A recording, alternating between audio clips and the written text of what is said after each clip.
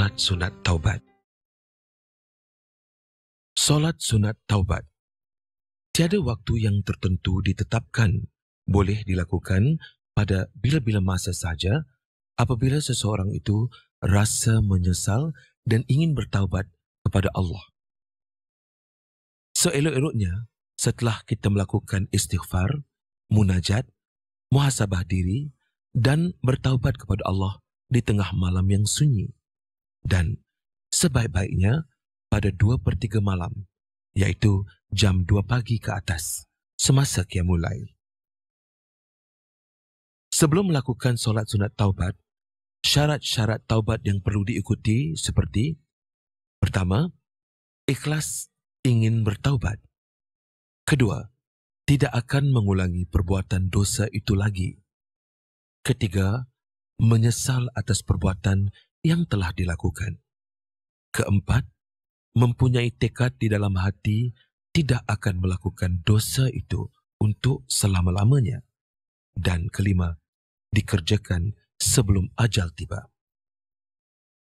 Bilangan rakaatnya adalah dua rakaat dan satu salam. Solat sunat ini boleh dilakukan seberapa banyak mungkin mengikut kemampuan.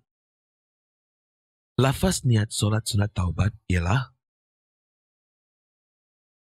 Usalli sunnat taubati rak'ataini lillahi ta'ala. Bacaan pada rakaat pertama adalah seperti biasa dengan membaca Al-Fatihah diikuti ayat kursi sekali dan boleh dibaca lebih jika mampu.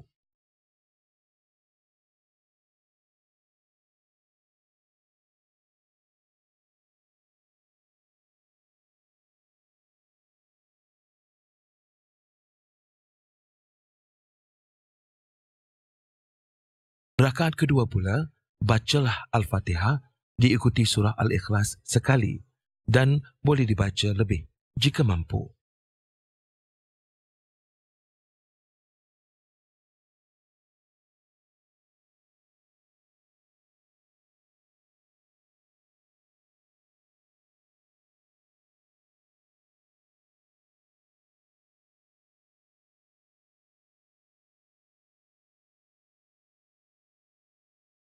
لا إله إلا أنت سبحانك إني كنت من الظالمين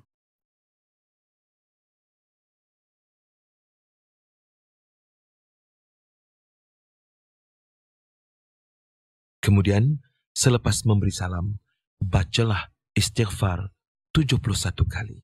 Astaghfirullahalazim. الذي لا إله إلا هو الحي القيوم وأتوب إليه Diikuti pula dengan doa selepas solat sunat taubat.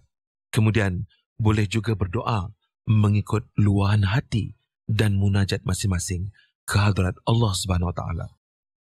أستغفر الله العظيم الذي لا إله إلا هو الحي القيوم وأتوب إليه. من كل ذنب أذنبته عمدا وخطأ ظاهرا وباطنا قولا وفعلا. سرا وعلانية صغيرا وكبيرا.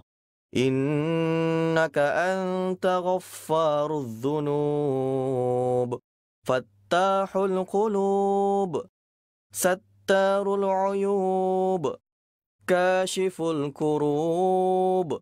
وأتوب إليك من الذنوب التي أعلم ومن الذنوب التي لا أعلم. إنك أنت علام الغيوب.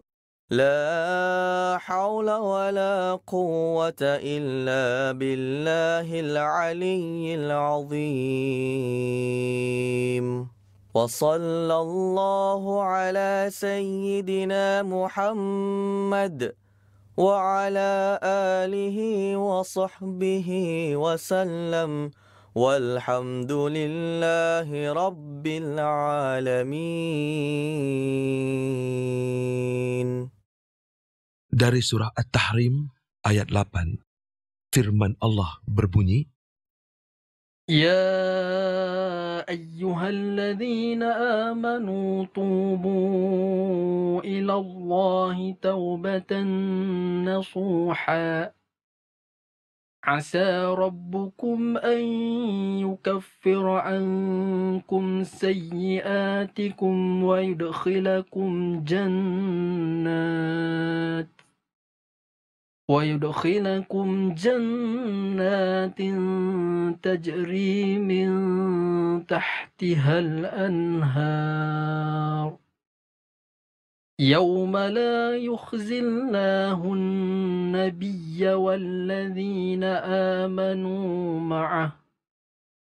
نورهم يسعى بين أيديهم وبأيمانهم يقولون ربنا يقولون ربنا أتمم لنا نورنا واغفر لنا إنك على كل شيء قدير Ibu Adam menjenguk Adam di luar biliknya. Dia berasa amat bersyukur melihat perubahan pada diri Adam.